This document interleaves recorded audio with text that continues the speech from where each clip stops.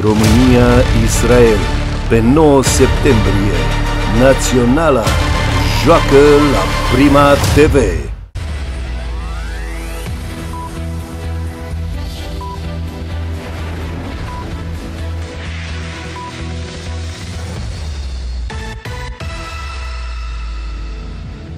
Doamnelor și domnilor, bună ziua, bun găsit la Focus!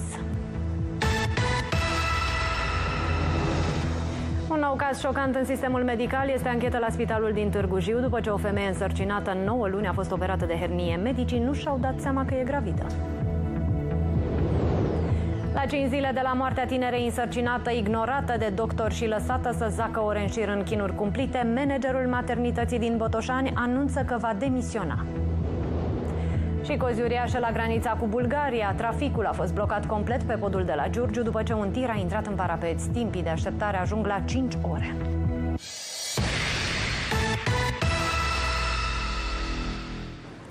Managerul spitalului din Botoșani a anunțat astăzi că intenționează să demisioneze la 5 zile de la moartea tinerei gravidă de 25 de ani, lăsată să zacă în chinuri cumplite. O asistentă și o infirmieră au fost deja suspendate din funcție.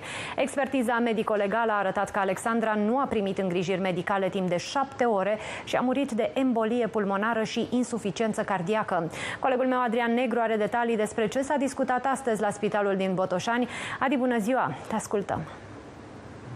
Bun găsit! După zile întregi de când a izbucnit scandalul și la două zile de la înmormântarea Alexandrei, conducerea spitalului din Botoșani a vorbit pentru prima dată public despre acest caz. Managerul nu are însă nicio explicație logică pentru care gravida nu a fost urmărită și consultată la timp, cu atât mai mult cu cât Alexandra intrase în spital joi cu fătul mort în pântece. Procedura clară spune că în aceste cazuri fătul mort trebuie scos cât mai repede. Alexandra a murit de embolie pulmonară și stop cardiac, după cum arată și expertiza medico-legală.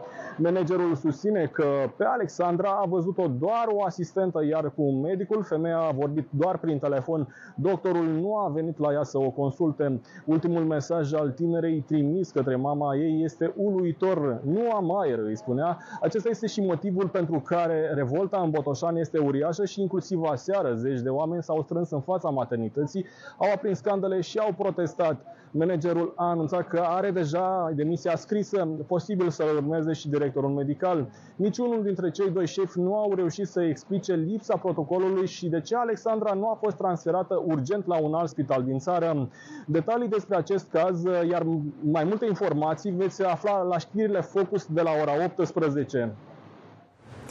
Mulțumesc, Adi. Este anchetă internă la Spitalul Județean de Urgență din Târgu Jiu, după ce o femeie gravidă a fost operată din greșeală de hernie. Era însărcinată în 9 luni, dar doctorii au văzut asta abia în timpul intervenției. Femeia în vârstă de 35 de ani a ajuns la spital cu durere abdominale. Spune că nu știa că este gravidă, iar această, în această perioadă nu a mers nici măcar la medicul de familie. Abia după ce au operat-o pentru hernie, doctorii au depistat sarcina și au intervenit rapid prin cezariană. Femeia este acum în secția ATI, iar starea ei de sănătate și a copilului este stabilă. Femeia mai are acasă două gemene adolescente. Pacienta uh, a spus că se află sub tratament cu anticoncepționale, care menstruație, uh, neștiind că este însărcinată. De asemenea, atunci când a fost dusă la laboratorul de imagistică medicală pentru razele pulmonare, a doua zi de uh, internare, aceasta a semnat pe proprie răspundere că nu este însărcinată. A fost scandal cu focuri de armă la un restaurant din Constanța. Cearta a pornit între participanții aflați la o nuntă cu 300 de invitați care se ținea în localul din centrul orașului. Băuți bine, nuntașii nu s-au mai înțeles la dedicațiile muzicale.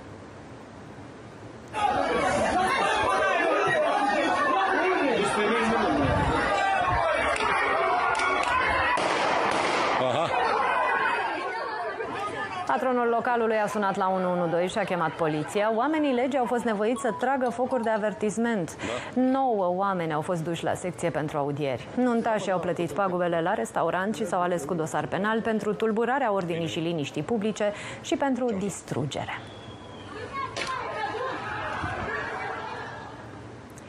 Un nou azil al groazei a fost descoperit în sectorul 4 al capitalei. Aproape 20 de bătrâni erau ținuți la grămadă în subsolul clădirii. Vorbim despre un centru care nu are licență de funcționare și care a mai fost închis de autorități în luna iulie, după ce au fost găsite mai multe nereguli. Colega mea, Amalia Chiriță, vine cu detalii. Amalia, bună ziua! Ce au spus administratorii căminului?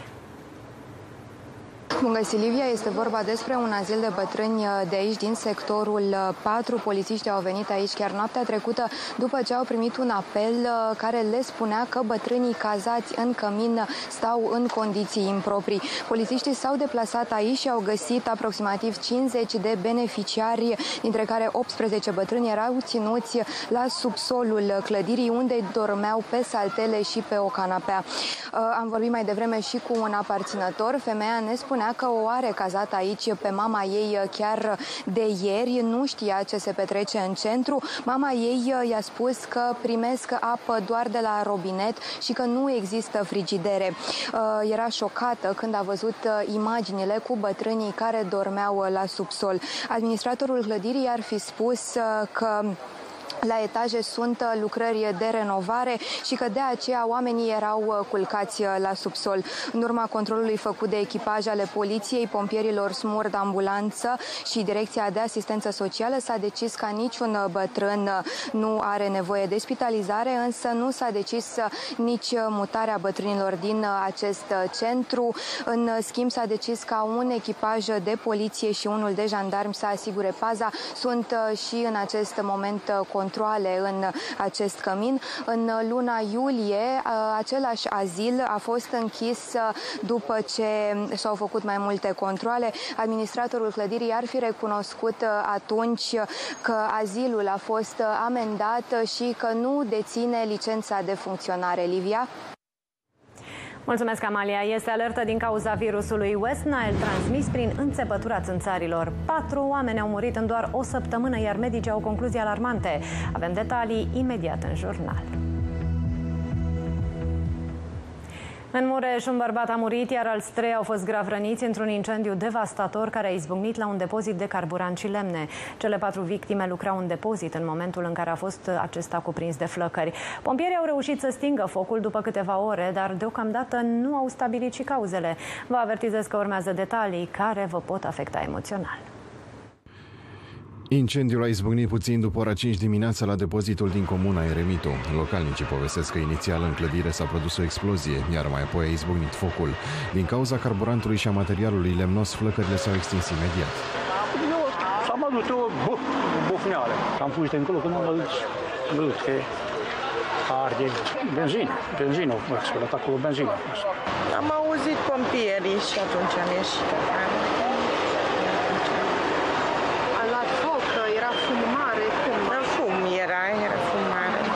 Când au ajuns la fața locului, salvatorii și-au dat seama că în depozit se află și oameni. Am găsit patru victime în total, trei pacienți de cod galben cu arsuri sub 20% suprafața corporeală, fără arsură de cale aeriană. În schimb, un alt pacient de cod roșu cu arsuri grave, aproape 100% din suprafața corporeală, a decedat. Bărbatul care a murit avea 61 de ani și muncea înăuntru împreună cu celelalte trei victime. Medicii de pe ambulanță i-au preluat pe ceilalți trei muncitori și au transportat la spital spitalul din Târgu Mureș. Între timp, pompierii au luptat ore în șir să stingă flăcările. Suprafața afectată de incendiu este peste 4500 de metri pătrați, iar a halelor undeva la peste 1800 de metri pătrați. Autoritățile fac în continuare cercetări și încearcă să stabilească ce a declanșat incendiul. Trafic blocat ore în șir la granița cu Bulgaria pe podul de la Giurgiu după un accident. Un tir a intrat în plin în parapet și a fost pericol de explozie deoarece combustibilul s-a scurs pe șosea. De la ora 3 dimineața s-au format cozi interminabile și abia după șapte ore s-a reluat circulația pe o singură arteră pentru autoturisme. Colega mea Alexandra Popescu se află acolo. Alexandra, bună ziua! Cum se circulă la această oră? Bun găsit, încă se circulă cu dificultate spre Vama Giurgiu. Vorbim aici despre o coadă de tiruri care se întinde pe aproximativ 10 km. În, în schimb, în ceea ce privește autoturismele, acestea circulă începând cu ora 10 către Vamă pe banda 2. Uh, sunt, uh, în ceea ce le privește, uh, trec mult mai rapid frontiera către Bulgaria, însă șoferii de tir așteaptă de aproximativ 90 ore în coada de aici, de la Vama Giurgiu. Am vorbit uh, cu mulți dintre ei care sunt aici în coadă încă de la 2-3 dimineața, de când practic a avut loc și accidentul pe podul Giurgiu. Se pare că la acea oră un șofer de uh, tir turc a lovit uh, un rost de dilatare de, de, la, de pe podul prieteniei, de pe partea bulgară, iar în acel moment a pierdut controlul volanului și s-a răsturnat, blocând astfel traficul în ambele sensuri dinspre Bulgaria, dar și dinspre România către Bulgaria. Uh, la fața locului au fost, uh, s-au deplasat și echipaje ISU pentru că erau scurgeri de carburant. De asemenea, în jurul orei 6 dimineața au venit mai multe um, utilaje din Bulgaria pentru eliberarea carosabilului, însă traficul a fost reluat după aproximativ 7 ore în jurul orei 10 dimineața. În ceea ce privește tirurile, așa cum puteți vedea în spatele meu, încă este blocaj. Uh, foarte multe dintre ele spuneau, mulți dintre șoferi spuneau că au înaintat uh, în aceste ore maximum 300-500 de metri. Se pare că acum uh, multe dintre tiruri reușesc să treacă către Vama cu Bulgaria, însă mai au de așteptat câteva ore cel mai probabil până vor ajunge în partea cealaltă. Cu mai multe informații însă despre acest subiect, revenim în această seară la ora 18. Livia? Mulțumesc, Alexandra, Roberta și Sebi, tinerii uciși la 2 mai de un băiat de 19 ani, au fost conduși ieri pe ultimul drum. Alături le-au fost sute de prieteni, colegi, apropiați. Toți speră ca autorul accidentului să plătească pe măsură. Atenție, urmează imagini și detalii care vă pot afecta emoțional.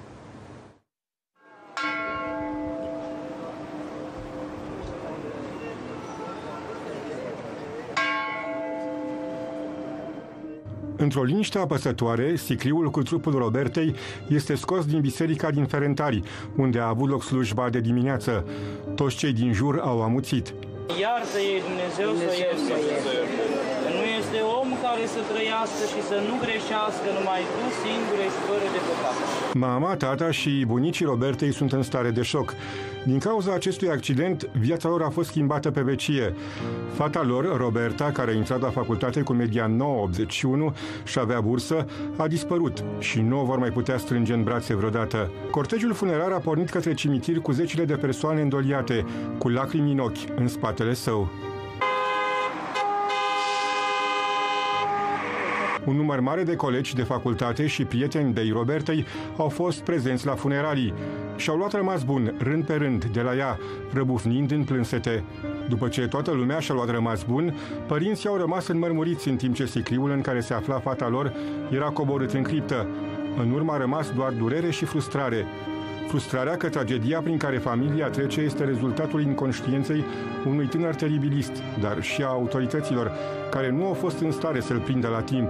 Mi-e frică că să nu se dea la întors. Dacă s-ar aresta părinții la copiii ăștia de bani gata, poate s-ar opri și s-ar gândi de 100 de ori să-i dea cheile lui ăla să plece cu mașina. În altă parte a orașului, în Pantelimon, și Sebi, tânărul de 21 de ani spulberat de Vlad Pascu, a fost condus pe ultimul drum. Lângă sicriul său au stat părinții, care au plâns într-una cu gândul la băiatul lor. Sora lui Sebi, care are 16 ani, a dormit seară de seară cu poza fratelui în brațe, de când a aflat tragicele vești. Toți sunt devastați și nu le vine să creadă că săptămâna trecută copilul lor pleca în vacanță, iar câteva zile mai târziu îl coboară sub pământ. Legile sunt mai pentru ăștia mai amărâți și ăștia lanți cu bani scap. Foarte mare nedreptate. Poliției de vină. Asta, părerea mea, e poliția de vină. Toți avem copii. E o durere să-ți vezi copilul într-un sicriu. Și pe mine și toată familia ne-a șocat, că putea să fie oricare din uh, copiii noștri. Familia Pascu a avut prima reacție față de cele întâmplate. Nu încercăm să-l absolvim pe fiul nostru de rigorile legii. Suntem conștienți de implicațiile pe care le va avea această tragedie asupra vieții lui și nu încercăm să-l ferim de răspunderea pentru faptele sale. Familiile îndurerate și-au condus copiii pe ultimul drum. Oamenii speră ca măcar să fie făcută dreptate pentru tragedia lor.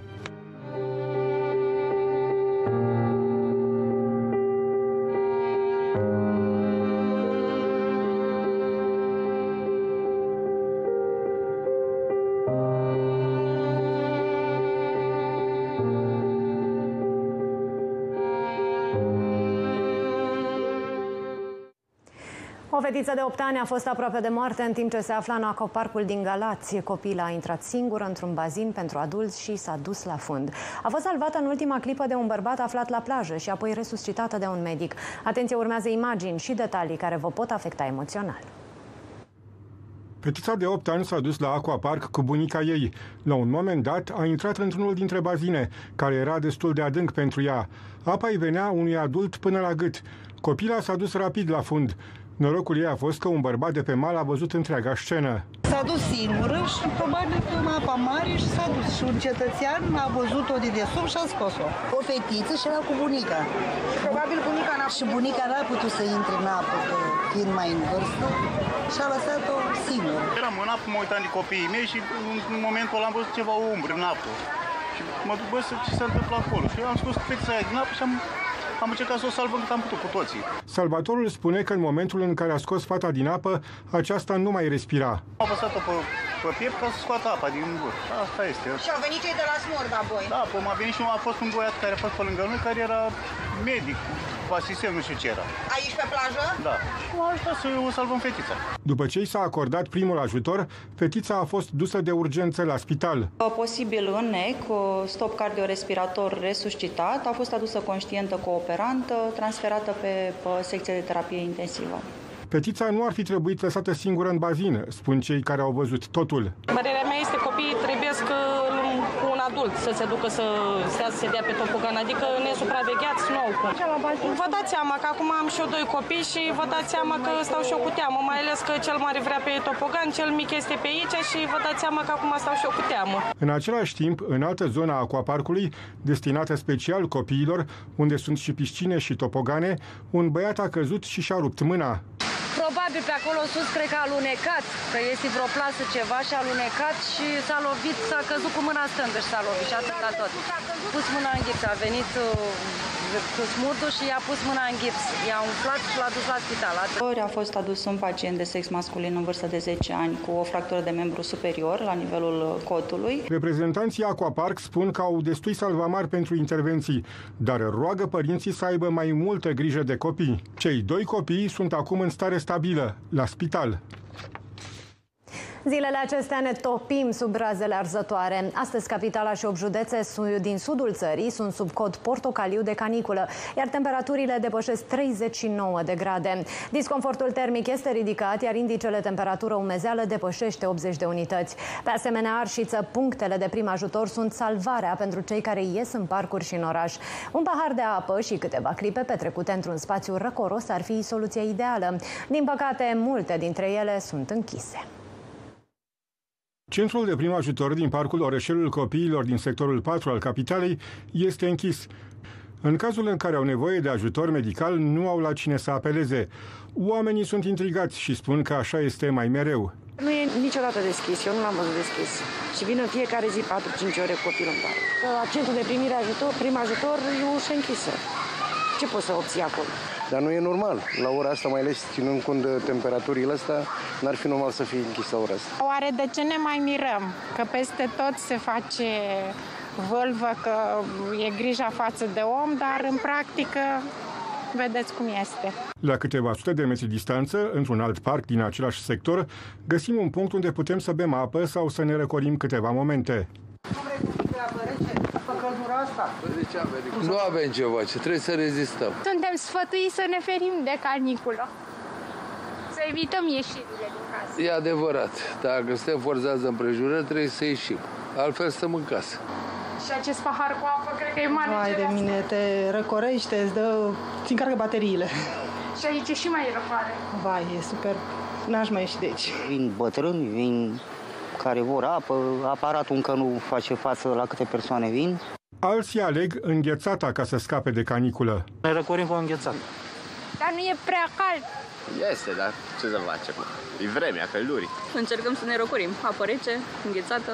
Valul de canicule se va intensifica din nou spre finalul săptămânii. Specialiștii ne sfătuiesc să purtăm haine deschise la culoare și legere, să purtăm pălării sau șepți și pe cât posibil să evităm să ieșim din casă la orele amiezii, dacă nu suntem nevoiți. Din iunie și până acum, șapte români s-au infectat cu virusul West Nile, arată datele Institutului de Sănătate Publică. Medicii spun că numărul ar putea fi mai mare, însă doar cazurile grave sunt cunoscute. Dintre cei infectați, patru oameni au murit în numai o săptămână. Și de parcă nu era de ajuns, un studiu recent arată că țânțarii sunt tot mai rezistenți la insecticide. Ultima victimă a virusului West Nile este o femeie de 67 de ani din județul Dolj. Avea și alte afecțiuni, iar virusul i-a provocat meningicită. În total, trei oameni au murit din cauza complicațiilor apărute după infectare. Datele Institutului Național de Sănătate Publică arată șapte infectări de la începutul lunii iunie și până acum. Trei dintre infectări au fost la categoria de vârstă 50-59 de ani. Vorbim însă doar despre situațiile raportate. Medicii spun că cele mai multe cazuri de infectare sunt ușoare, iar simptomele fie nu există, fie sunt asemănătoare cu cele ale unei răceli. În cazul persoanelor în vârstă care suferă și de alte boli, virusul poate fi foarte periculos. În principiu, cam 5% dintre cei care se infectează ajung să facă encefalită. Sunt în general persoane care au o anumită vârstă, au boli cronice, adică au un sistem imunitar uh, care e deficitar. În aceste situații, simptomele apar târziu, când meningita e deja instalată. În momentul în care avem uh, poate chiar pierderea sau alterarea stării de conștiință, în momentul în care există o durere puternică de cap, cu vărsături care nu pot fi controlate, cu situația în care ne deranjează în mod clar lumina, lucrurile astea cu instalare bruscă ne pot duce cu gânduri că ar putea fi o meningită sau o meningoencefalită. Un studiu al Institutului Cantacuzino arată că peste 10% dintre țânțarii din România sunt purtători ai virusului. În orice loc unde se adună apă, țânțarii găsesc un mediu propice pentru mulțire și dacă temperaturile sunt ridicate, atunci avem rețeta sigură. Numărul insectelor va crește și mai tare. De asemenea, iarba crescută în exces, precum și luminile puternice, atrag țânțarii ca un magnet. Tocmai de aceea, INSP recomandă desecarea bălților din jurul gospodăriilor și îndepărtarea recipientelor cu apă stătută. Este doar una dintre indicații. Prima indicație în cazul în care vrem să ne ferim de țânțari este să purtăm haine cu mânecă lungă, lucru extrem de greu de suportat în această perioadă în care afară este caniculă și chiar și seara temperaturile sunt ridicate. Folosirea substanțelor repelente pentru țânțari este o altă recomandare, numai că un studiu realizat de Institutul de Medicină Tropicală din Anver, Belgia, arată că țânțarii au dezvoltat o rezistență puternică la insecticide. Deși au fost expuse 24 de ore la astfel de substanțe, mai puțin de 90% dintre insectele folosite în cercetare au murit. Păi ca și gândacii, ca și alte insecte au devenit rezistente. Gândacii de bucătărie, vreau să zic, că și la noi se face desinsecție foarte des, dar tot nu mor toți. Și plus vin în canalizare. Și revin periodic gândacii? Cam da. E greu. E greu, da, da. Au mai apărut niște ceva mici. Am înțeles că au fost aduși din altă parte cu copaci și nu este contra lor. Mi se depuneau pe balcon, deci nu mureau. Copiii sub 15 ani sunt cel mai puțin afectați de virusul West Nile. Incendiile de vegetație nu se mai opresc în Grecia, doar în ultimele ore au izbucnit alte 60 de focare, iar pompierii duc o luptă acerbă pentru a stinge flăcările. Situația cea mai gravă este în centrul și în nord-estul țării. Mai rău este acum în Turcia, acolo incendiile au închis traficul maritim în strâmtoarea Dardanale, iar zeci de nave au rămas blocate.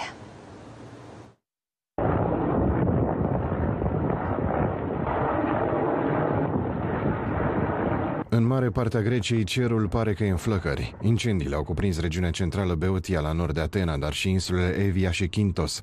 Vântul puternic și temperaturile de peste 41 de grade Celsius fac misiunea pompierilor extrem de grea. Και το κακό είναι ότι η φωτιά μας έχει περιπλώσει.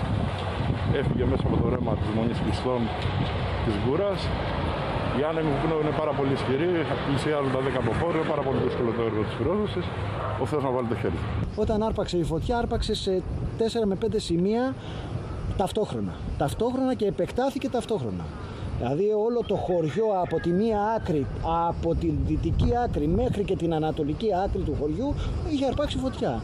Salvatorii au evacuat zeci de mii de oameni din nordul Atenei. Localnicii sunt disperați și fac tot ce le stă în putere pentru a-și apăra casele. Καήκανε σπίτια, καήκανε μαγαζιά, καήκανε δεν ξέρω κάποιο μοναστήρι που έχει εκεί απάνω τι έχει γίνει και άλλο μοναστήρι από εδώ που αυτή τη στιγμή καίγεται. Δεν γνωρίζω λεπτομέρειε. Τι να σα πω. La noi, Ministerul de Externe a transmis o atenționare de călătorie valabilă pentru mai multe zone turistice, printre care insulele Tasos, Kefalonia, Zakynthos și Lefkada, locuri unde ajung și mii de români. Incendiile au izbunit din nou în Grecia în ultimele patru zile, iar 20 de oameni și-au pierdut viața. Regiunile pârjolite sunt foarte mari și se observă din satelit.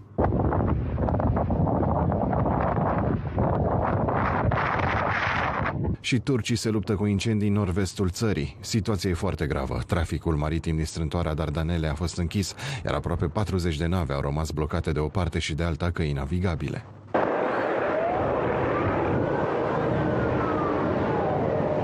În provincia Cianacale, focul pârjolește tot, iar elicopterele folosesc apă din mare ca să stingă flăcările. Șase sate sunt în pericol și mii de oameni au fost nevoiți să-și abandoneze locuințele.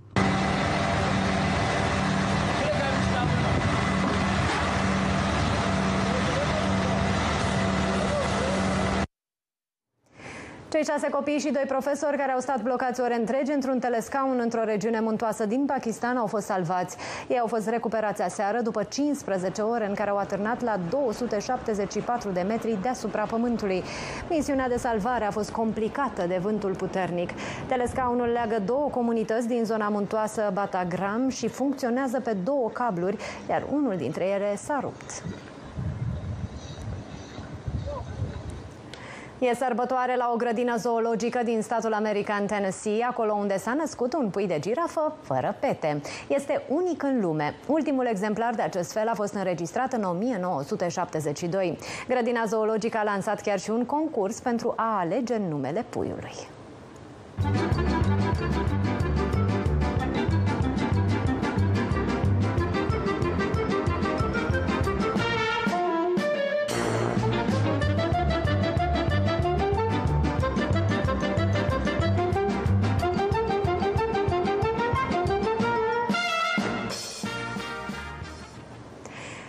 Serena Williams a devenit mamă pentru a doua oară. Ea a născut o fetiță care a primit numele de Adira River Ohanian. Williams și soțul ei, Alexis Ohanian, au anunțat venirea pe lumea fetiței pe platformele social media. Sunt recunoscător să anunț că este plin de dragoste în casa noastră. O fetiță nou născută, fericită și sănătoase. Celebra jucătoare de tenis și soțul ei mai au o fetiță în vârstă de 4 ani. Cazul lui Vlad Pascu, cel care a provocat drogat un accident pe litoral și a ucis doi tineri, readuce în prim plan problema foarte gravă a drogurilor în România. Sunt multe semne de întrebare. De ce a fost lăsat să plece de polițiști? De ce nu a fost testat pentru consum de droguri? Legislația are multe hibe, iar din această cauză mulți consumatori de droguri scapă de dosare. Discutăm despre toate aceste probleme cu invitatul nostru. După o scurtă pauză, rămâneți cu noi.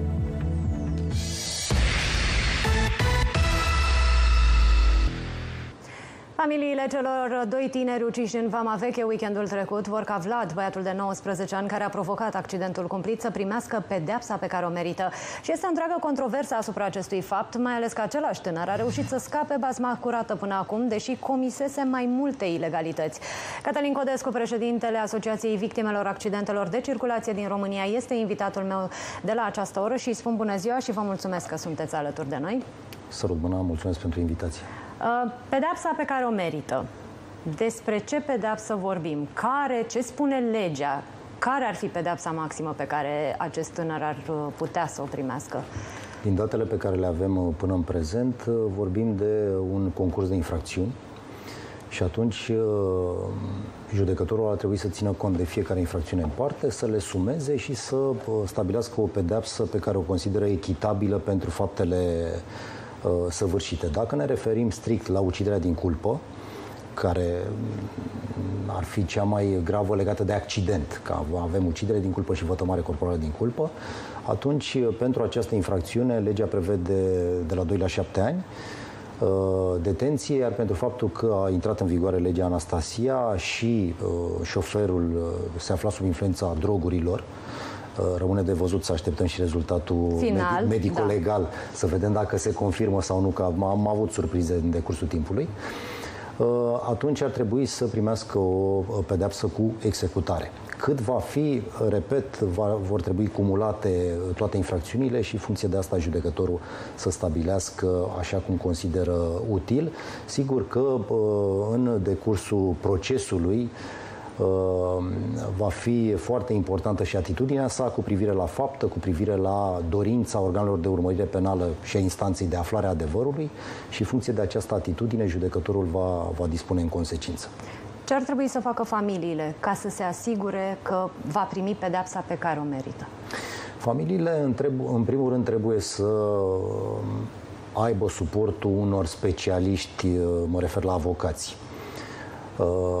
Din păcate, în astfel de situații vorbim de un mix de drept penal și drept civil și în decursul timpului recunosc că am întâlnit puțini avocați care sunt specializați în cele două discipline și care gestionează foarte bine și empatic și profesional astfel de cauze. De aceea recomand uh, familiilor să uh, se informeze bine cu privire la persoanele cu care urmează să intre în contact pentru gestionarea problemei juridice, astfel încât să nu apară probleme pe parcurs. Uh, în faza de cercetare urmărire penală va trebui avut în vedere sau vor trebui avute în vedere toate aspectele care țin de dinamica producerii evenimentului și de modul în care uh, poliția sub coordonarea parchetului înțelege să ducă la bun sfârșit activitatea de urmărire penală. Și aici mă refer la faptul că iată avem un accident unde uh, anumiți tineri erau pe, în zona părții carosabile. Trebuie stabilit foarte clar dacă erau pe partea carosabile, implicit pe zona de rulare a autoturismului sau erau în afara părții carosabile, dacă, în funcție de poziția pe care o aveau, dacă infrastructura rutieră era optimă în zona respectivă, Uh, și aici, ar teoretic, ar trebui să avem informații în decursul uh, anchetei. De ce? Pentru că legea, de exemplu, foarte puțin a fost discutat acest aspect, legea, de exemplu, e vorba de o lege din 2008-265 privind auditul de siguranță rutieră, prevede foarte clar că în cazul accidentelor cu deces, uh, poliția trebuie să ceară un raport de inspecție suplimentară Uh, de la ARR, Departamentul de uh, Inspecție a Drumurilor, astfel încât să se asigure că infrastructura rutieră era optimă în zona producerii accidentului. Se pare că într-adevăr nu era trotuar în zona aceea. Rămâne de văzut, repet, sunt foarte multe elemente care trebuie lămurite, foarte multe mijloace de probă care ar trebui strânse de organele de anchetă, astfel încât să mergem fără doar și poate spre aflarea adevărului. Uh, sunteți președintele Asociației Victimelor Accidentelor de Circulație din România. Dacă cineva ar veni să vă ceară ajutorul într-un accident similar, da? în ceea ce privește un accident similar cu cel petrecut la Vama Veche, ce probleme ați identifica?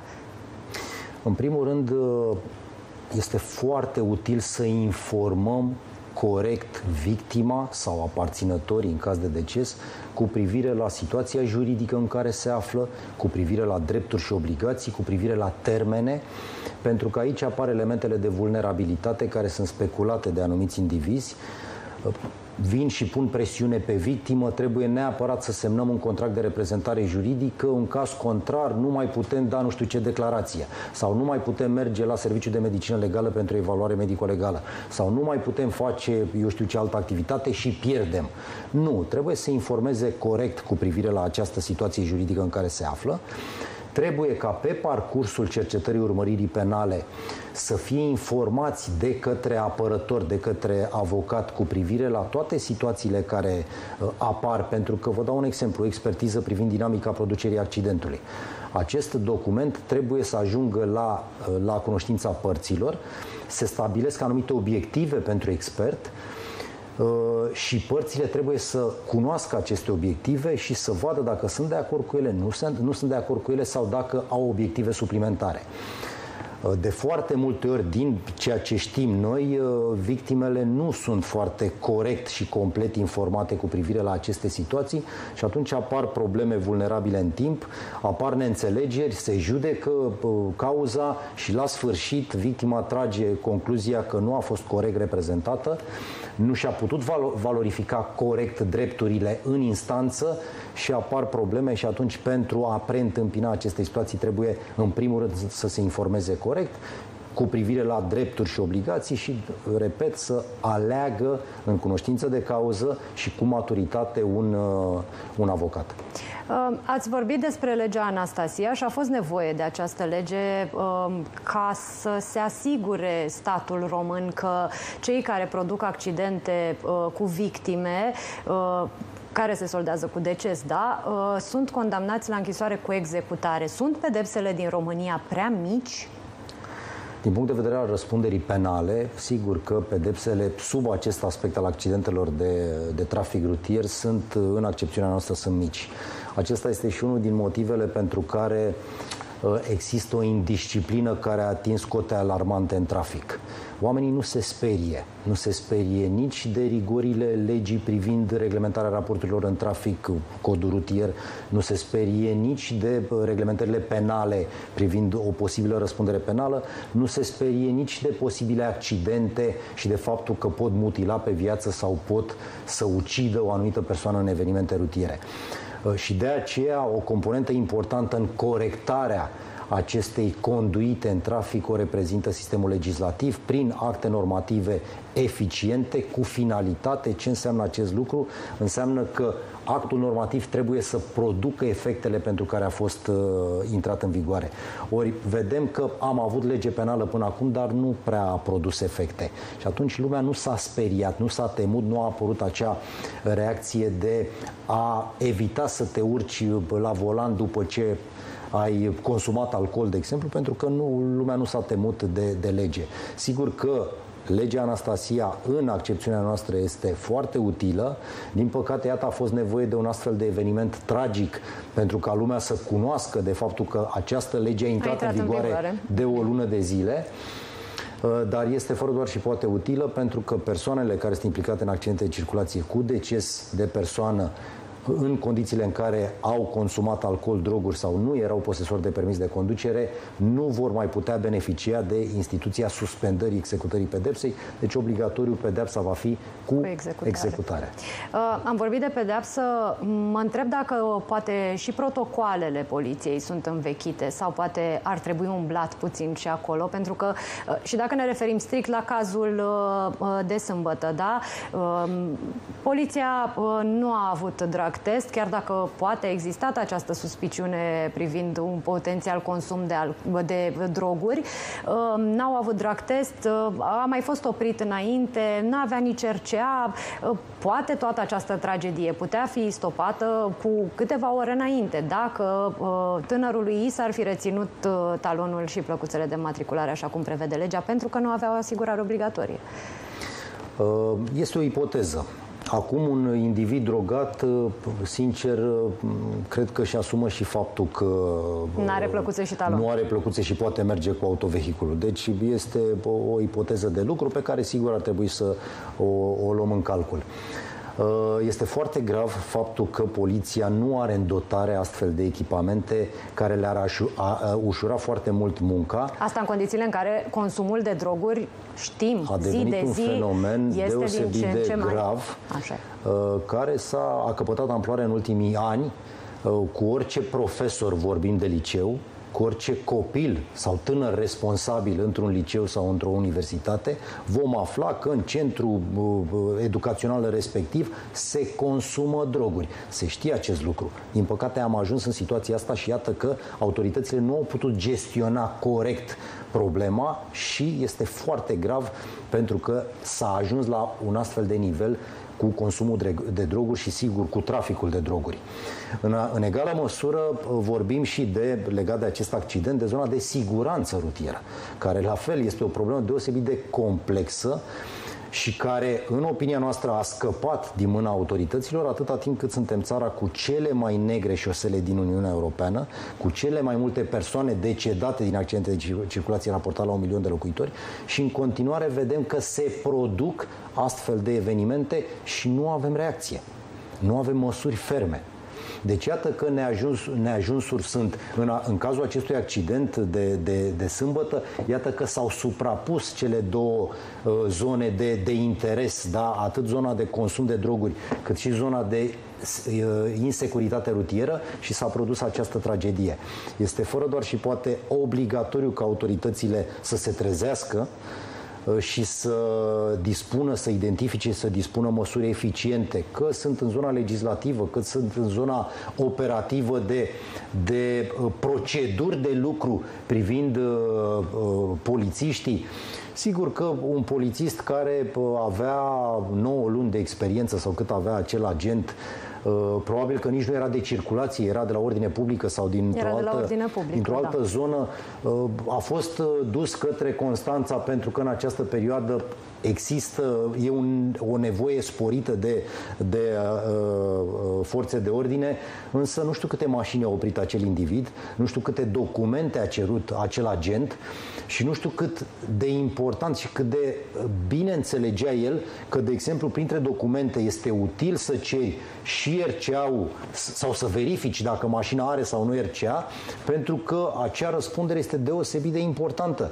Există legislație comunitară din 1972 sau 74 care mă rog, a tot fost uh, îmbunătățită, ultima fiind directiva 103 din 2009 privind uh, răspunderea civilă auto, care spune foarte clar, statele membre garantează protecția persoanelor în trafic, a terțelor persoane păgubite. De aceea și în acest caz unde nu avem asigurare, da, aici va uh, fi obligat să despăgubească biroul asiguratorilor auto în calitate de organism de plata despăgubirii în limitele contractului de asigurare, adică în limitele legii 132 din 2017 privind asigurarea de uh, răspundere civilă auto. Și pentru că tot vorbiți de asigurare, uh, trebuie, e important de spus și o să vă rog foarte pe scurt să-mi răspundeți, pentru că nu mai avem timp, dar uh, toate victimele accidentelor rutiere au drepturi la despăgubiri, care în teorie uh, sunt plătite de asiguratorul șoferului vinovat, da? da. Uh, ce o să se întâmple în cazul acesta? În cazul acesta uh, se va activa obligația de despăgubire a Biroului Asiguratorilor Auto din România, în calitate de organism de plată a despăgubirii. Deci absolut toate victimele vor fi compensate de Biroul Asiguratorilor Auto din România. Există un barem în funcție de care se acordă aceste despăgubiri sau nu există barem. Legislația spune, fixează pentru anul 2023 un plafon de 6 milioane 70 de mii de euro în agregat pe eveniment, indiferent de numărul victimelor. Da? Și atunci, în interiorul acestui plafon de 6 milioane 70 de mii de euro, uh, judecătorul va dispune compensarea fiecărei victime în parte, uh, plata fiind făcută de, suportată de Biroul Asiguratorilor Auto din România. Domnule Codescu, vă mulțumesc pentru toate aceste precizări. Mulțumesc și eu. Noi luăm acum o scurtă pauză de publicitate, dar nu plecați, revenim imediat.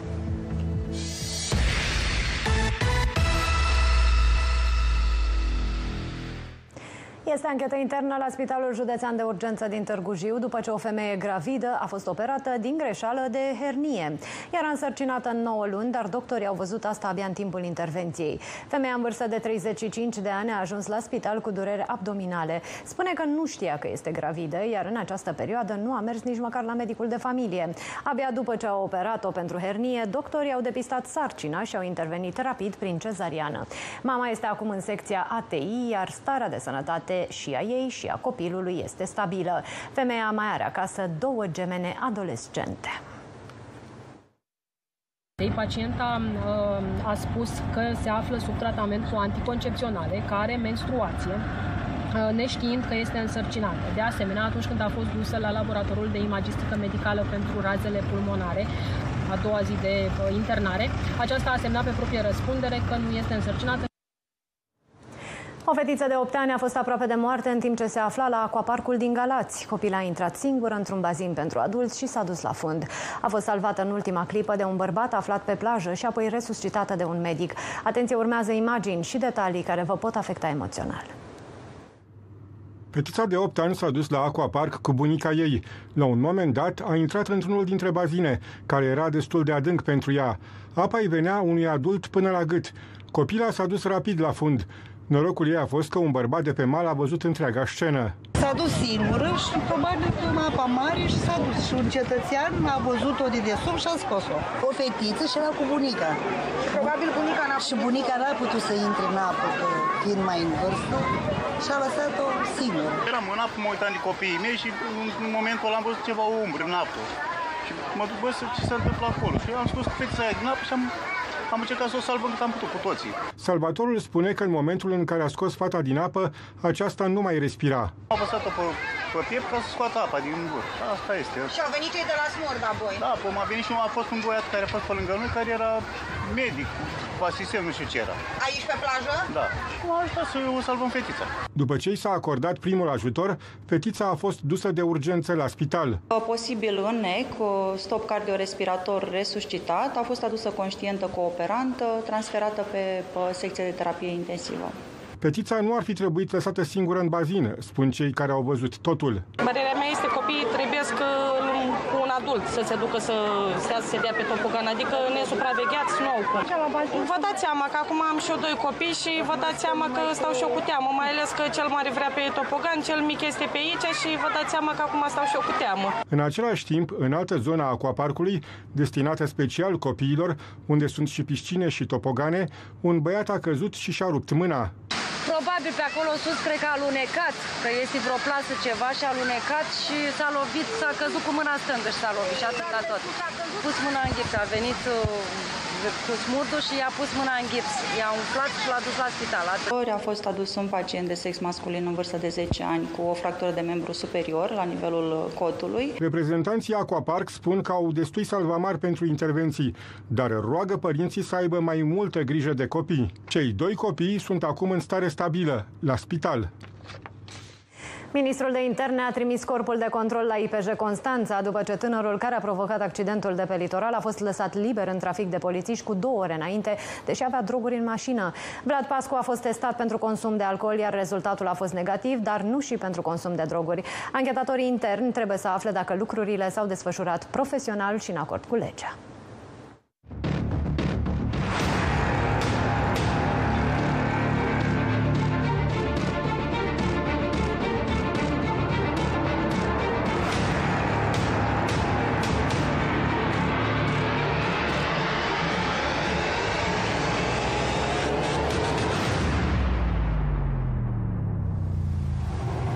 Sunt multe întrebări fără răspuns care trebuie elucidate în această tragedie.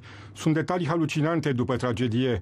Primul dintre ele este faptul că polițiștii l-au lăsat liber pe șoferul drogat înainte de accident. L-au oprit în trafic, i-au găsit drogurile asupra lui și l-au lăsat să plece. După ce l-au oprit în trafic și i-au pus aparatul etilotest și a rezultat alcoolemia zero, polițiștii l-au luat pe tânărul șofer cu mașina lor de poliție și l-au adus aici, la sediul poliției din Vama Veche pentru acte, pentru declarații și așa mai departe. A stat aici până la ora 4 și jumătate dimineața. După ce polițiștii au dat drumul, tânărul s-a urcat la volan și a pornit spre centrul localității Vama Veche. După ce a plecat de la poliție, tânărul a mers pe faleza din Vama Veche, acolo unde sunt cele mai multe baruri, a petrecut un timp acolo, în cele din urmă a ajuns și aici, la vila din spatele meu, unde avea mai mulți prieteni. La 5 și 10 a plecat de aici către 2 mai a petrecut în total, între poliție și momentul plecării, 50 de minute. Undeva s-a drogat. Aici sau la petrecerile de pe faleză. Nu știu, chiar nu știu. Dacă s-au cunoscut în vamă sau erau prieteni sau așa, chiar nu știu. Chiar nu știu, nici nu pot să-i film, nici pot să zic că nu e adevărat. Băiatul a fost coleg cu o colegă de-a mea. Da. Avea de toate în corp. Așa am înțeles. Amfetamină, metamfetamină, cocaină. La scurt timp, după ce a plecat la vilă, șoferul ajunge exact în această curbă. Sunt și semnele de circulație. Din sensul 2 mai către Vama Veche, grupul de pietoni mergea pe lângă șosea. A intrat în ei, mașina scăpată de sub controlul lui și a omorât doi oameni. Era ora 5 și 25. Polițiștii care l-au oprit pe tânăr aveau totuși pârghiile legale pentru a nu mai lăsa să urce la volan, chiar și în lipsa unui test antidrog. Ar fi putut să-i ceară actele și polița auto RCA și văzând că nu are, să-l dea jos, să ia talonul și plăcuțele de înmatriculare. Noi nu avem proceduri clare care să ne spună cum verificăm și mai aveam o problemă aici. Domnul nu avea documentele la dânsul. În zona acolo nu este semnal. Comunicarea se face pe WhatsApp, se face pe, uh, pe telefonie mobilă, nu, există, uh, nu merg stațiile cum trebuie. Sunt multe sincope care trebuie să rezolvate cu această ocazie. Se pare că părinții știau că băiatul lor este consumator de droguri.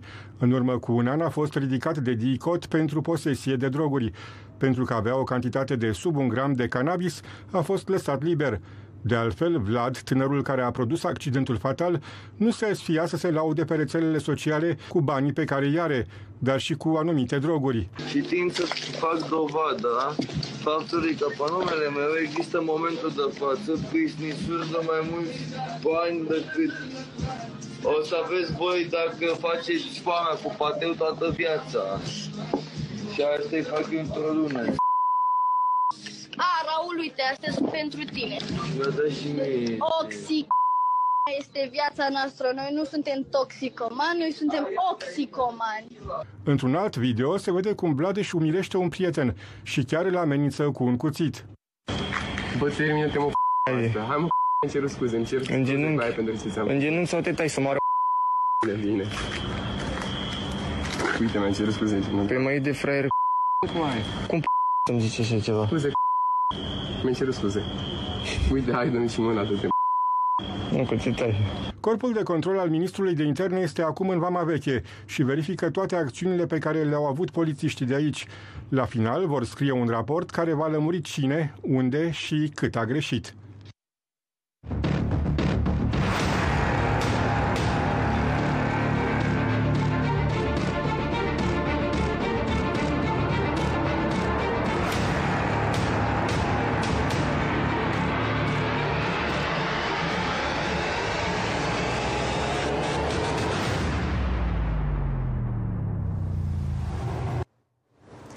Nou azil al groazei a fost descoperit în sectorul 4 al capitalei. Aproape 20 de bătrâni erau ținuți la grămadă în subsolul clădirii. Vorbim despre un centru care nu are licență de funcționare și care a mai fost închis de autorități în luna iulie după mai multe nereguli găsite. Colega mea, Amalia Chiriță, vine cu detalii. Amalia, bună ziua! Ce au spus administratorii căminului? Bun găsit, Livia. Este vorba despre un azil de bătrâni uh, de aici, din sectorul 4. Polițiștii au venit aici chiar noaptea trecută după ce au primit un apel uh, care le spunea că bătrânii cazați în cămin stau în condiții improprii. Polițiștii s-au deplasat aici și au găsit aproximativ 50 de beneficiari, dintre care 18 bătrâni erau ținuți la subsolul clădirii, unde dormeau pe saltele și pe o canapea. Uh, Am vorbit mai devreme și cu un aparținător. Femeia ne spunea că o are cazat aici pe mama ei chiar de ieri, nu știa ce se petrece în centru. Mama ei i-a spus că primesc apă doar de la robinet și că nu există frigidere. Uh, Era șocată când a văzut uh, imaginile cu bătrânii care dormeau uh, la subsol. Administratorul clădirii ar fi spus uh, că la etaje sunt uh, lucrări de renovare și că de aceea oamenii erau uh, culcați uh, la subsol. În urma controlului făcut de echipaje ale poliției, pompierilor SMUR de ambulanță și Direcția de Asistență Socială s-a decis ca niciun bătrân nu are nevoie de spitalizare, însă nu s-a decis nici mutarea bătrânilor din acest centru. În schimb s-a decis ca un echipaj de poliție și unul de jandarmi să asigure paza. Sunt și în acest moment control controle în acest cămin. În luna iulie, același azil a fost închis după ce s-au făcut mai multe controle. Administratorul clădirii ar fi recunoscut atunci că azilul a fost amendat și că nu deține licența de funcționare. Livia? Mulțumesc, Amalia. Aproape 1000 de locuitori din sectorul 1 al capitalei au fost la un pas de tragedie. Un incendiu de vegetație s-a extins cu repeziciune pe o suprafață de 30 de hectare și doar efortul oamenilor a făcut ca focul să fie oprit la doar 2 metri de un complex rezidențial. Ei acuză autoritățile locale de nepăsare. Complexul în care locuiesc nu este racordat la rețeaua de apă curentă, iar pe terenurile din jur se aruncă tone de gunoi. Focul a izbucnit la orele prânzului, iar vântul a făcut să se extindă cu rapiditate. După doar 10 minute, terasa și fațada celei mai apropiate case erau în flăcări. Primii care au intervenit au fost locatarii unui cartier rezidențial, care nici măcar nu era racordat la apă curentă. Am reușit să activăm hidranții pe care avem în cartier. Uh, Una dintre cele mai mari probleme în zonă a fost că uh, noi nu suntem uh, racordați la apă și canalizare, deci nu- implicit nu am avut surse de apă decât uh, cartierul nostru a fost o sursă foarte importantă de apă. Pompierii au intervenit în doar câteva minute cu 15 autospeciale, dar primii care s-au luptat cu flăcările au fost chiar vecinii din zonă. Am reușit să stingem cam jumătate din uh, aria care se extindea Înspre uh, partea înspre partea cartierului.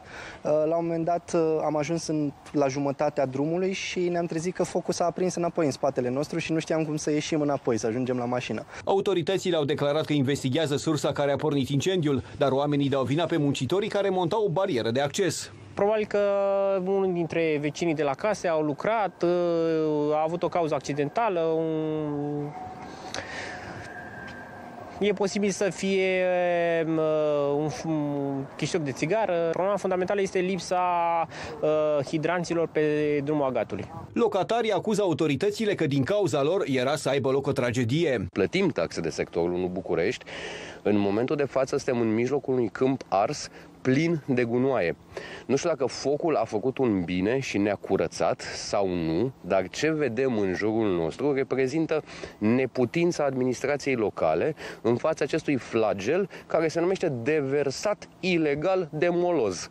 Nu doar vegetația este cea care a întreținut și a extins focul. Pe suprafața de teren arsă sunt tone de gunoaie. Vorbim de mase plastice, de materiale de construcții, sticlă, doze, aluminiu și multe altele care au ajutat flacăra să rămână vie. Nu doar complexul rezidențial era să fie mistuit de flăcări, ci și pădurea.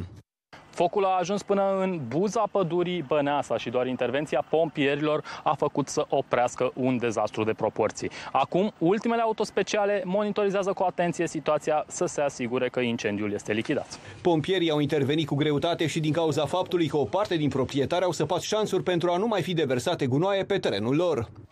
Dacă pe de o parte natura a ajutat la extinderea focului, așa cum vedeți în stânga mea, pe de altă parte acest drum a oprit extinderea focului în dreapta mea. Din fericire, nu au existat victime, iar în zilele care urmează, polițiștii vor stabili cauza care a declanșat focul. Trafic blocat ore în șir la granița cu Bulgaria pe podul de la Giurgiu după un accident. Un tir a intrat în plin în parapet și a fost pericol de explozie deoarece combustibilul s-a scurs pe șosea. De la ora 3 dimineața s-au format cozi interminabile și abia după 7 ore s-a reluat circulația pe o singură arteră pentru autoturisme. Colega mea Alexandra Popescu se află acolo. Alexandra, cum se circulă la această oră? Bun găsit, încă se circulă cu dificultate spre Vama Giurgiu. Vorbim aici despre o coadă de tiruri care se întinde pe aproximativ 10 km. În, în schimb, în ceea ce privește autoturismele, acestea circulă începând cu ora 10 către Vamă pe banda 2. Uh, sunt, uh, în ceea ce le privește, uh, trec mult mai rapid frontiera către Bulgaria, însă șoferii de tir așteaptă de aproximativ 90 ore în coada de aici, de la Vama Giurgiu. Am vorbit uh, cu mulți dintre ei care sunt aici în coadă încă de la 2-3 dimineața, de când practic a avut loc și accidentul pe podul Giurgiu. Se pare că la acea oră un șofer de uh, tir turc a lovit uh, un rost de dilatare de, de, la, de pe podul prieteniei, de pe partea bulgară, iar în acel moment a pierdut controlul volanului și s-a răsturnat, blocând astfel traficul în ambele ambele sensuri dinspre Bulgaria, dar și dinspre România către Bulgaria. Uh, la fața locului au fost, uh, s-au deplasat și echipaje ISU pentru că erau scurgeri de carburant. De asemenea, în jurul orei 6 dimineața au venit mai multe um, utilaje din Bulgaria pentru eliberarea carosabilului, însă traficul a fost reluat după aproximativ 7 ore în jurul orei 10 dimineața. În ceea ce privește tirurile, așa cum puteți vedea în spatele meu, încă este blocaj. Uh, foarte multe dintre ele spuneau, mulți dintre șoferi spuneau că au înaintat uh, în aceste ore maximum 300-500 de metri. Se pare că acum uh, multe dintre tiruri reușesc să treacă către Vama cu Bulgaria, însă mai au de așteptat câteva ore cel mai probabil până vor ajunge în uh, partea cealaltă. Cu mai multe informații însă despre acest subiect, revenim în această seară la ora 18. Livia? Mulțumesc, Alexandra. Tribunalul Argeș a decis eliberarea condiționată a lui Cristian Cioacă, fostul polițist condamnat pentru asasinarea soției sale, Elodia Ghinescu. Sentința este definitivă și vine după ce prima instanță, judecătoria Pitește, respinsese solicitarea de eliberare. Deși Cristian Cioacă a fost condamnat în iunie 2014 la 15 ani și 8 luni de închisoare, el este eliberat cu 6 ani și jumătate mai devreme. Today is the first day for the rest of my life. Ok? Doar cum dată dumneavoastră a venit să vă Doamne ajută. astăzi? Da. Pentru că încerc să-mi feresc restul familiei de noastră. Da? Ok. Încerc să-l feresc și Îmi doresc foarte mult ca ei să aibă o viață normală. La eliberare, ucigașul Elodie a purtat o șapcă pe care scria Polis. Când a fost întrebat de reporter dacă aștepta să iasă din închisoare, a zâmbit, dar nu a răspuns. În luna mai, avocata lui spunea că merită să fie eliberat și plasat sub program de supraveghere. Eu încă cred într-un sistem de justiție bazat pe legi clare. Dânsul beneficiază de toate condițiile pentru a fi liberat condiționat, dar cu această cerință de a fi supus unui program de supraveghere. Instanța de fond i-a dat o condamnare de 22 de ani inițial. Am insistat să o duc la aeroport. Dar mi-a spus că nu e nevoie pentru că o duce Claudia. Păi, în data de 18 iulie am primit un mesaj la ora 15 și 14 minute în care mi se spunea că bine, sub formă de reproș. Am mm. părăsit domiciliul conjugal. De la cine era trimis? De la numărul de telefon uh, de ZAP al uh, Elodiei. Unde e Elodia? Nu știu dar a primit o sentință de 15 ani și 8 luni de închisoare și a fost eliberat cu 6 ani și jumătate mai devreme.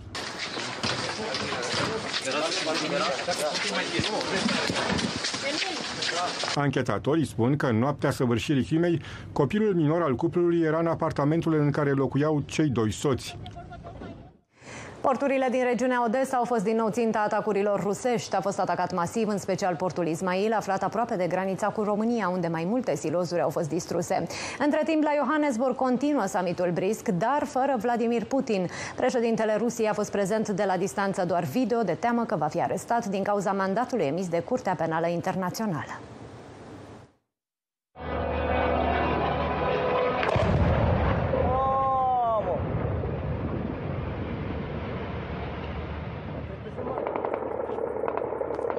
Telefonul în mână. Viteza aprinsă. Explozii puternice au avut loc pe celălalt mal al Dunării, la doar 20 de kilometri de Tulcea. Ucrainenii susțin că atacul cu zeci de drone asupra portului Ismail a durat trei ore. Rușii au atacat infrastructura portoară cu drone iraniene și au avariat mai multe silozuri de grâne.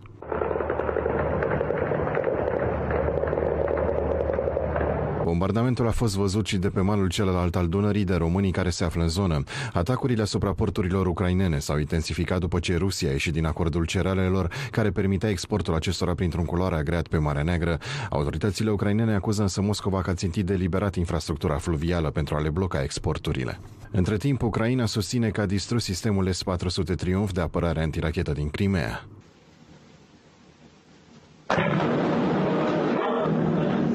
Și Moscova a fost vizată de trei drone ucrainene, dar nimeni nu a fost rănit. Una dintre ele a lovit o clădire aflată în construcție în centru. Zborurile au fost suspendate pe aeroporturile din capitala Rusiei timp de câteva ore. Între timp, la Johannesburg continuă summitul BRICS, organizația care reprezintă un sfert din economia mondială. Pe agenda întâlnirii figurează discuții despre extindere, dar și reducerea dependenței față de dolari. Vladimir Putin nu a fost însă prezent. A rămas la Moscova din cauza mandatului de arestare emis pe numele lui de Curtea Penală Internațională. Dacă ar fi venit în Africa de Sud, risca să fie arestat. Asta nu i-a oprit delirul în mesajul transmis video. Россия приняла решение поддержать людей, которые борются за свою культуру, за свои традиции, за свой язык, за свое будущее. Наши действия на Украине продиктованы только одним – положить конец той войне, которая была развязана Западом и их сателлитами на Украине против людей, живущих на Донбассе. Мы благодарны нашим коллегам по БРИКС, которые принимают действия. O altă registrare video surprinde un moment bizar. În acest clip, președintele Rusiei pare dezorientat și nu mai știe la ce mână poartă ceasul. Tot la summit, liderul chinez Xi Jinping a renunțat în mod neașteptat să-și mai susțină discursul. Tratatul de pictură al lui Leonardo da Vinci și alte cărți rare din perioada renașterii vor fi scoase la vânzare pentru 23 de milioane de euro. Un singur exemplar al unei cărți renascentiste are o valoare estimată între 185 și 550 de mii de euro. Cea mai importantă piesă a licitației va fi Tratatul de pictură al lui Leonardo da Vinci, care se va vinde într-o versiune prescurtată, considerată pierdută pentru mult timp, dar care ar fi circulat prin mâinile mai multor colecționari privați vreme de mai multe secole. Este timpul pentru informațiile meteo, așa că o invit pe colega mea Roxana Gheorghean să ne spună cum va fi vremea în perioada următoare. Roxana.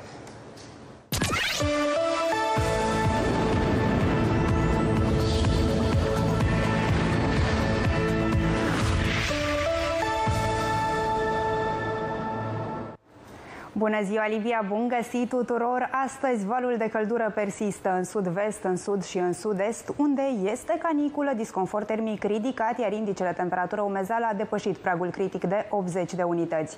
Temperaturile maxime se încadrează între 29 și 37 de grade. Cerul este variabil, însă vor fi înorări, descărcări electrice, intensificări ale vântului, posibil vijelii și căderi de grindină, dar și averse în nord, la munte local local în est, dar mai restrânse în centru și doar izolată în rest. Cantitățile de apă vor depăși pe arii restrânse 20-25 de litri pe metru pătrat.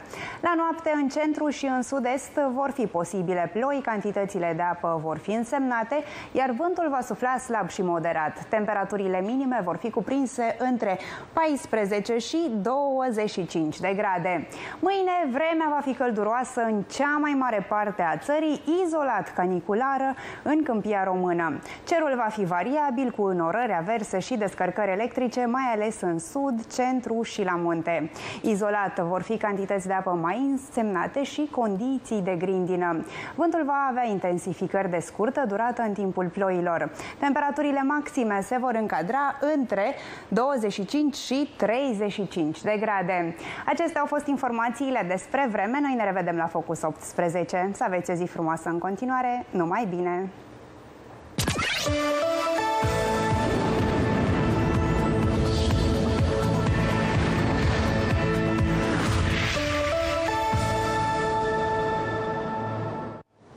Noi luăm acum o scurtă pauză de publicitate, dar nu plecați, revenim imediat.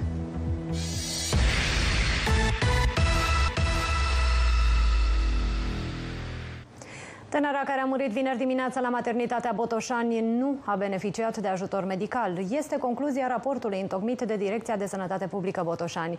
Vă reamintesc că Alexandra Ivanov, o tânără în vârstă de 25 de ani, mama a trei copii și însărcinată cu al patrulea, a fost internată vineri la ora 23 și 30 de minute cu diagnostic de sarcină oprită în evoluție și anemie. Așa scria pe fișa de internare a femeii. În ciuda durerilor pe care tânăra mamă le acuza, cadrele medicale i-au administrat ser fiziologic și un medicament, iar începând cu ora 0 și 45 de minute și până la 7 și jumătate nu a mai fost efectuată nicio manevră de îngrijire. De-a lungul întregii nopți, Alexandra Ivanov a luat uh, legătura cu medicii, dar nu a primit niciun răspuns. Sâmbătă dimineață, starea ei s-a înrăutățit și s-a stins în secția ATI a spitalului după 40 de minute de manevre de resuscitare. Invitatul meu de la această oră este Vasile Barbu, președintele Asociației Naționale pentru Protecția Pacienților, căruia îi spun bună ziua și vă mulțumesc mulțumesc că sunteți alături de noi. Bună ziua, cu toată deschiderea. Spuneți-ne unde a greșit spitalul în cazul Alexandrei?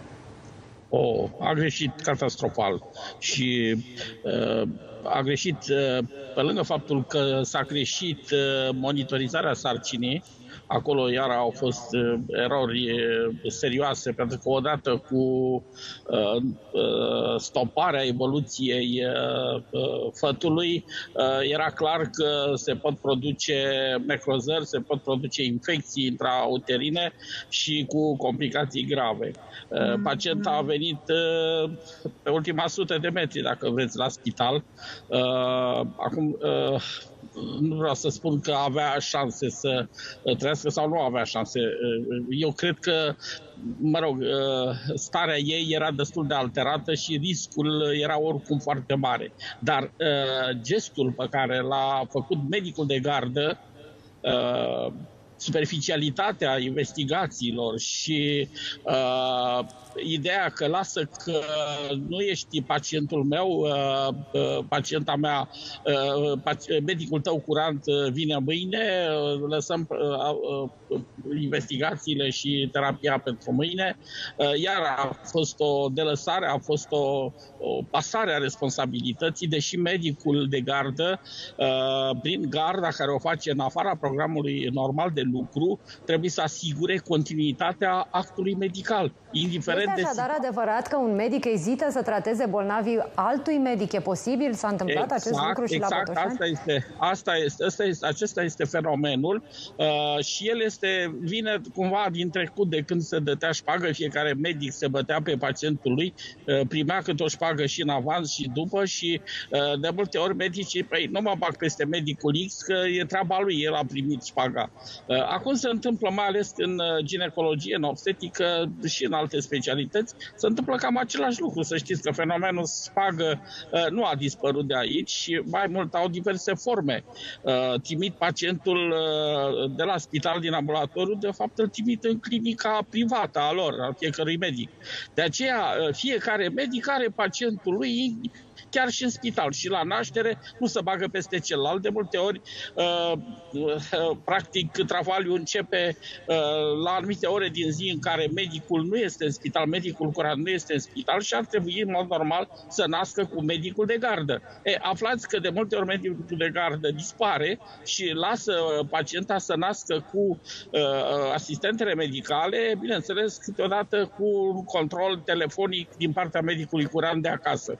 Deci, Poate că totuși o uh, astfel de practică, chiar dacă nu este morală, nu ar fi atât de cumplită, dar în cazul de față, uh, această practică a dus la decesul unei, uh, exact. unei tinere care da. s-a chinuit ore în șir, care a acuzat dureri cumplite, care cu siguranță că a cerut ajutor în stânga și în dreapta și nu l-a primit. Chiar nimeni să nu-și fi dat seama că viața ei era în pericol cu adevărat? Uh, viața poate să fie în pericol și la o aparentă normalitate a travaliului. Uh, și pot să apară complicații. Tocmai de aceea este necesar ca medicul să fie tot timpul în gardă și de gardă uh, ca să poată să intervină. Deci chiar, repet, chiar dacă aparent este vorba de un travaliu normal cu, uh, eu știu, cu uh, o gândesc așa cu o speranță că sarcina va merge foarte bine, chiar și așa, oricum medicul trebuie să fie uh, atent pentru că pot interveni complicații, hemoragii post-naștere, pot să apară iar trom, uh, trom, tromboembolii, pot să apară tot felul de alte complicații medicale și atunci medicul trebuie să fie pe fază cu tot echipamentul și cu, tot, uh, cu tot, toată echipa pregătită pentru astfel de situații. Deci este și nepermis ca medicul Barbu, la ora Dacă 1... un bolnav care se află în situația Alexandrei Ivanov, medicii nu îi răspund, simte că starea îi se înrăutățește, ce trebuie să facă? Care sunt pârghile? Pentru că astfel păi, de tragedii să nu se mai întâmple. Da, da, am înțeles. Vă spun ce se întâmplă la noi de ani de zile, chiar și zilele trecute. După ce s-a întâmplat, ce s-a întâmplat la Botoșani, am avut din Mehedinți, de la un alt spital orășenesc, apelul unui pacient da, la ora 1 și jumătate, care, uit, care era foarte rău, pentru că medicul curant uitase să-l trimite, era un pacient dializat, renal și trebuie, uitase medicul să treacă în fișă atunci când l-a internat că trebuie să-i să facă și dializa și aflați că au trecut patru zile fără dializă, pacientul se afla într-o insuficiență renală, oricum datorită afecțiunii sale, dar uh, uh, în lipsa dializei uh, s-a complicat, uh, a apărut, au apărut uh, probleme, s-a umflat, pacientul era într-o, abia putea să vorbească, nu mai putea să clipească pentru că era umflat și la față. Deci, iată, uh, tot o neglijență, iar medicul dormea și pacientul la un moment dat spune, domnule, nu mai am voce, nu mai pot să strig de aici din salon să vină asistentele sau medicul la mine. Și mă și zice, am telefonul dumneavoastră de la un alt pacient. Și a sunat, bineînțeles, la noi, a, noi a trebuit să intervenim, să sunăm, am sunat, bineînțeles, disperați peste tot. Altă dată, să știți că am apelat noi la 112 cu mențiunea că noi sunăm din București și e pentru, eu știu, alte județe din țară. Și cei de la 112 au fost drăguți și au uh, trimis, uh, într-adevăr, acolo și au trimis ambulanța 112 la spital, dacă este posibil. Pentru că medicul dormea. Și în momentul în care noi le spunem, domnule, nu aveți voie, nu scrie nicăieri că puteți dormi în gardă, ce să vă spun, cel puțin în ultima vreme am primit atâtea atacuri, amenințări, insulte din partea unor, eu nu-i consider medici, sunt niște uscături în cadrul sistemului de sănătate care nu înțeleg că totuși pacientul este, un, este ceva sensibil în momentul în care vine cu o problemă de sănătate, trebuie să ai fi foarte atent pentru că el oricând poate să decompenseze și în gardă trebuie să fii foarte atent, să controlezi continuu. Nu să te curci la ora 1 noaptea, să te scoți la 6, scoli la 6 dimineața și dacă să-i spui asistente medicale să te trezească numai pentru cazuri complicate. Deci cam asta este se întâmplă. revoltător, și... într-adevăr, domnule Barbu. Da. Uh, avem acum o demisie, da, a managerului spitalului. Uh, se va schimba ceva după această nu, demisie? Nu se va schimba, pentru că acolo este o chestie împământenită între șefii de secție. Este ceva, o cârdășie a mai multor medici. Nu toți, pentru că acolo să știți că avem și medici foarte buni, pe unii cunosc, sunt medici care sunt dedicați pacienților. Din păcate, există un număr destul de important de medici care ignoră și care au fel de fel de interese. Au și cabinete private, nu vă spun în Botoșan, dar nu numai, uh, și în Suceava s-a dezvoltat foarte mult, uh, s-au dezvoltat cabinetele private ale medicilor din spital. Deci aici nu mă refer la cabinetele uh, private ale unor clinici, unor uh, uh, companii care organizează uh, policlinici, cabinete medicale, uh, centre medicale. Mă refer la medicul uh, din spital și a deschis cabinet individual în ambulator și iată în ginecologie și obstetică pacientele sunt monitorizate în sarcină uh, la ei la cabinet și uh, uh, nu vă spun ce sume le pretind și iată este încă o, o portiță prin care ei percep foarte mulți bani de la o femeie însărcinată și pe perioada monitorizării sarcinii și chiar înainte de sarcină, că banii nu-i mai dă în spital, îi dă la cabinetul privat.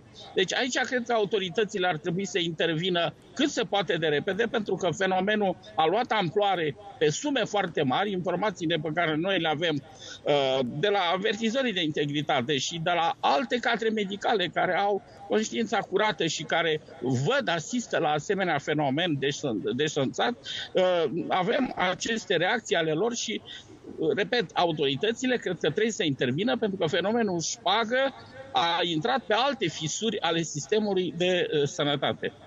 Așteptăm de ani de zile să intervină autoritățile, domnule Barbu, să sperăm că măcar de data asta o vor face. Vă mulțumesc Eu mă foarte refer mult la pentru toate aceste autoritățile precizări. judiciare, pentru că autoritățile administrative n-au portițe, n-au instrumente pentru a controla acest fenomen. Mă refer la Așa este, autoritățile aveți dreptate. judiciare care ar putea interveni.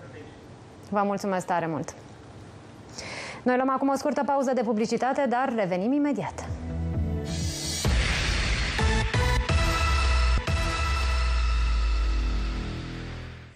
Știrea zilei vine de la Târgu Jiu, acolo unde o femeie gravidă internată în spitalul județean a fost operată din greșeală de hernie. Pacienta era însărcinată în 9 luni, dar doctorii au văzut asta abia în timpul intervenției.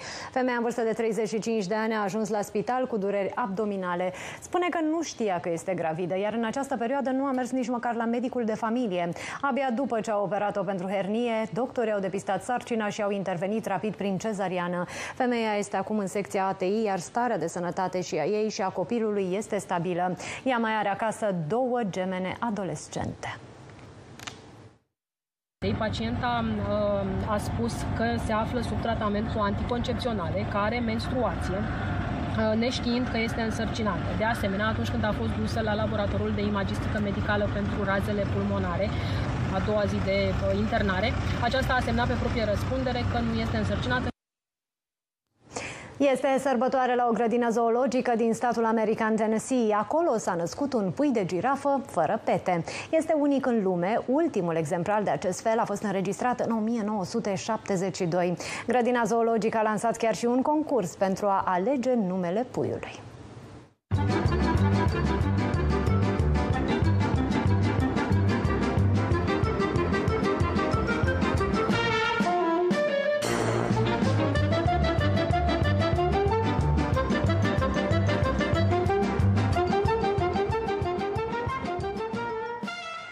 Doamnelor, domnilor, focul se încheie aici, dar știrile noastre le puteți vedea și pe site-ul primanews.ro. Rămâneți pe Prima TV pentru că de la ora 16 și 30 de minute vă invităm să urmăriți un nou episod din telenovela coreană Frumoasa Curtezană. Iar de la ora 18, colega mea Andreea Berecleanu vă așteaptă cu principalul jurnal al zilei. Noi ne revedem și mâine tot de la ora 14. O după amiază cât mai frumoasă să aveți. La revedere!